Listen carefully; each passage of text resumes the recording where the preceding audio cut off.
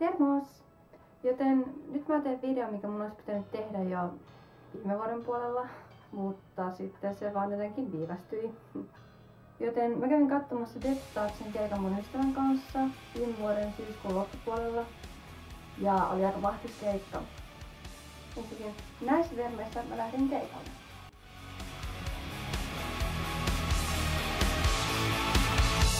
Say what you want me to